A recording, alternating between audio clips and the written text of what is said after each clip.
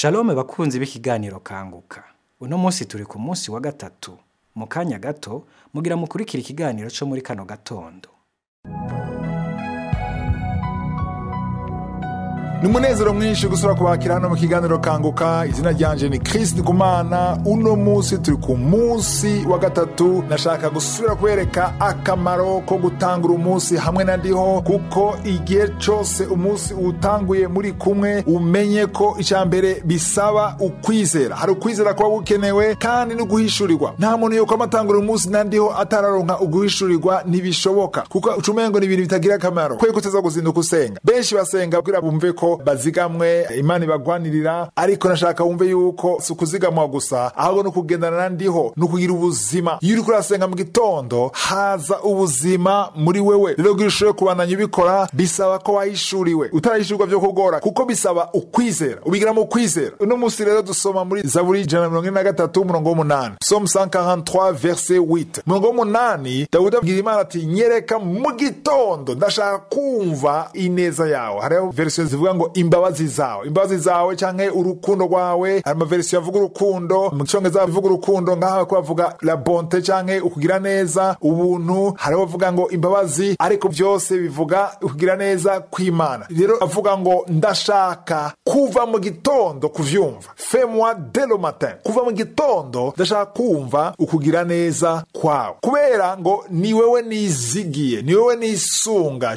Confie en toi. Nashaka unyereke inzira nkwiye kugenderamwo. Mbega mu gitondo urasaba imana ikwereke inzira ukwiye kugenderamwo. Ndagenda babaza ikintu kimwe. Ni gute wobona ukugira neza kw'imana mu gitondo? Ni gute wobona ineza y'imana mu gitondo? Ni gute wobona ugutabara kw'imana mu gitondo? Ni gute wobona imbabazi z'imana mu gitondo? Mu gitondo biragoye kubona kuko ukivyutse vyose bimeze kwa kundi abantu bamwe bararyamye hari agacerere nta muntu muravugana nta muntu arakugirira nabi nta muntu aragutuka nta kibazo wagize nta ntambamyi wagize nta miryango irugarika vyose bimeze neza. Ariko agavuga ngo kuva mu gitondo nk'ivyuka ndashaka kubona ineza yawe. Ni ukuvuga rero ntuyibona n'amaso y'umubiri kuko nuba urava muhira ntayo wobona bisigura yuko uyizera ukwiye guhishurirwa buri gitondo ukwiye guhishurirwa ineza y'imana. Ukayiyumvirako ukayitekerezako ukabona yuko imana ari imana nziza. Nico gituma uriko urasenga mu gitondo utegura umunsi wereka imana umunsi wose ukawushira amaboko y'imana. Ukaba uzi yuko aho ugenda hose wavuganye n'imana kandi vyarangiye. Jewe iyo nsenze mu gitondo sohotse mu nzu mva mu nzu nzi neza ko vyose vyarangiye. Vyarangiye umunsi utangura vyarangiye. Birangira he mu masengesho. Kuko ndazi igihe cose niko ndasenga. Hari ikintu kiyo kirakoreka mu isi itagaragara. Le monde spirituel isi y'impwemu hari ikintu kiyo kiyo kirakoreka nubwo utakibona wewe. Rero bisaba kwizera. Iwe murongo ufasha abantu bizera. Utizera ntavyo wokora. Kuko utizera uca ugendera kuvyo ubona n'amaso y'umubiri. Ntiwubwira imana ngo nyereka ngo ineza yawe mu gitondo. Uyibona gute? Ntayibona. Woyibona wamaze gusohoka wagiye ku kazi canke yogiye kw'ishuri canke mu bantu ni ho woyibona. Ariko uwizera ayibona akiri mu rugo akiri muhira arayibona kuko avuga ati imana nsenga iranyumva. Abamarayika barahari nubwo tutababona turizera ko bahari kuko ijambo ry'imana riratubwira ko bahari. Rero urazi yuko iyo urasenga uhimbaza imana utidodomba aha ndabisubiramwo utidodomba ntushobora gusaba imana ngo ikwereke ineza yayo widodomba yuko uridodomba binezereza umwansi ari we satani ariko yuko urashima imana uko bisa kose ukavuga uti imana ndagushima. Uno munsi ndagushize mu maboko yawe ndakweretse ivyo njamwo vyose ndagushima intsinzi naronse nkiri muhira. Jewe nshima intsinzi nkiri mu rugo sinindira ngo umunsi urangire ngo ngira nshima imana ku ntsinzi. Intsinzi abizera bayibona imbere yuko igaragara. Nico gituma rero ukwiye gutangura umunsi uhamagara imana ikwereke ineza yayo ikwereke ubwiza bwayo. Ntuzobibona mu bundi buryo uzovyumva mu mpwemu yawe mu mwuka wawe uzokumva ko imana ari imana nziza. Bisaba rero ukwizera. Nico gituma niwabona umuntu asenga iminsi yose ata munsi n'umwe asiba. Kandi agafata umwanya gusenga uzomenye ko imana yamugiriye ubuntu afise ukwizera. Udasa ukwizera azobigira iminsi itatu itanu aca bivamwo. Ariko uwizera ntasiba. Uwizera bicika ubuzima. Nico gituma nama nababwira amajambo mu gitondo. Shaka bicika ubuzima. Wumviriza ijambo ry'imana. Usoma ijambo ry'imana ni ho uzoronka ukwizera. Wumvize intahe wumvize ubuhamya. Wumvize abariko baragirirwa neza. Wizere ko imana iriho. Imana irakuzi ubushobozi imana ifise imigambi myiza. Ndakunda rwose aha ngo nizera wewe nisunga wewe ngo unyereke inzira nkwiye gufata rusheme ujo dois marcher ngo kuko ngo nduza umushaha wanje imbere yawe. Je leve a toi mon âme umushaha wanje umutima wanje ndawuduza imbere yawe. Nashaka ushire umushaha wawe ivyiyumviro vyawe mu mana kuko ni we azi kazoza yawe. Hari ivyo ushoboye n'ivyo udashoboye. Ariko mubwire uti ivyo nashoboye vyose ndabishize mu maboko yawe wama ubikora mu gitondo. Kuko yavuze dawudi ati unyereke kuva mu gitondo. Ntukeneye kubibona saa sita gusa ukwiye kubibona kuva mu gitondo kandi ukabibona n'amaso y'impwemu yo kwizera. Ukamenya ko imana yo mu ijuru ikuzi igufitiye umugambi mwiza hariho kazoza imana ifise kuri wewe kandi bizoshika. Niwaca bugufi usenga buri gitondo.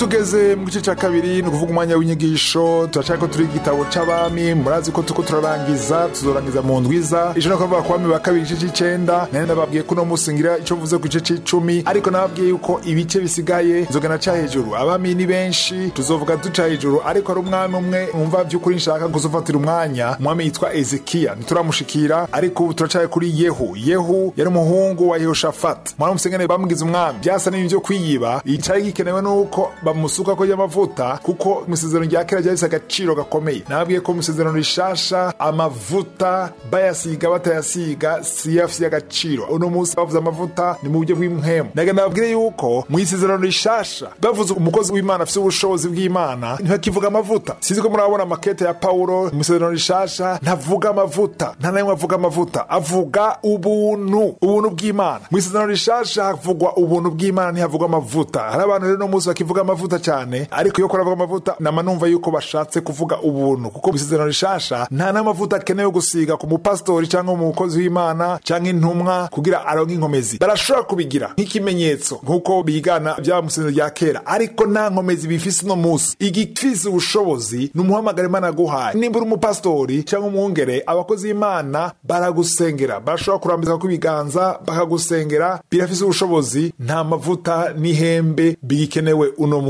nimwabona bariko barabikora ntimubacire urubanza. Mugabo bashaka kugira ikimenyetso gusa ariko igikonewe uno munsi ni uko vy'ukuri waba warahamagawe n'abakozi b'imana bakagusengera kugira ube umwungere bagushize ibiganza birakwiye. Nta mavuta akenewe uno munsi. Mwibuke pawulo ngene yabwira timoteyo ati ngabire waronse ca gihe nakurambika kw'ibiganza pawulo ntiyigeze avabana gusiza amavuta. Pawulo ntiyigeze asiga amavuta timoteyo. Yamujambise kw'ibiganza gusa aranamusengera byari bikwiye. N'igihe pawulo yaba intumwa nta namwe muri bibiliya tubwira ko bamusize amavuta. Rero amavuta uno munsi arababigira mugabo ntimuhacira urubanza niyaza ko ari ikimenyetso gusa ariko ubushobozi bw'isezerano rishasha ntihoraze ku mavuta. Ariko kiriya gihe ca kera igihe elisa yabwira uya musore ngo agende gusiga amavuta kuri yehu byari bifise agaciro k'iya gihe. Ariko ni vya kera ni isezerano rya kera no musi siko bimeze. Ivyo rero ni vyiza ko tubitahura. Mu gice c'icumi rero mu gice c'icumi musomye kuva mu murongo cumi n'umunani gushika mirongo ibiri n'umunani. Verse 18 a 28 batubwira yehu ingene yakoze ibintu vyiza yasambuye ubushobozi bwa bayali nubwo eliya ca gihe yategeka ko bica babahanuzi amajana ane mirongo itanu. Katsa senkani profete ba bayali urabona yuko ntiyabamaze bose ntiyashoboye kubamara. Hari abasigaye atari bake. Nico gituma rero hari ubushobozi bari bagifise ariko musomye kuva ku murongo cumi n'umunani gushika mirongo ibiri n'umunani abami ba kabiri igice c'icumi de roi 10 verse 18 a 28 turabona vy'ukuri yuko yehu imana yamukoresheje mu buryo budasanzwe mu gusambura ubushobozi bwa bayali bari bafise ubushobozi budasanzwe. Bari bafise ibigirwamana vyinshi bari bafise inkomezi zidasanzwe. Ico yakoze muze gusoma ahantu ababwiye yakoresheje ubwenge budasanzwe. Umurongo wa cumi n'umunani yarabegeranije bose. Arababwira ati ahabu ntiyakoreye neza bayali. Ariko yehu ati jewe nzomukorera gusumba. Ariko yari amayeri yariko ararondera ngene asambura ubushobozi bwabo arahamagaza bose abahanuzi bose ba bayali arabegeranya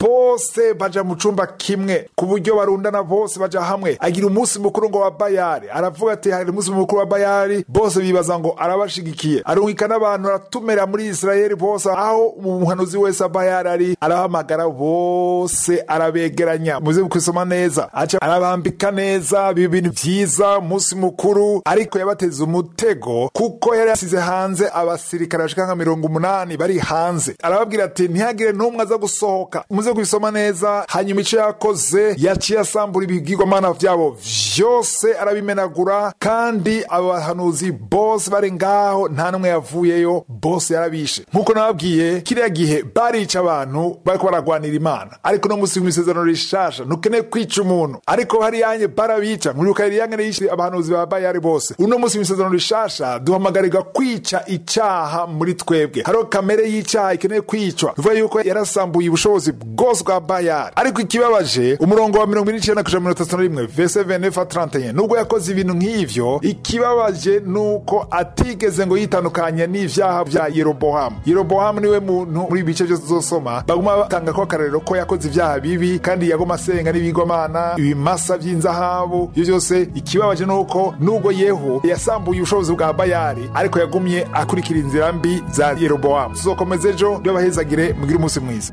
Nizeye ko mwubatswe ntimwibagire gufyonda ku gakengere kugira ngo muze muramenyeshwa igihe cyose dushize ko ikiganiro gishasha. Muhezagirwe cyane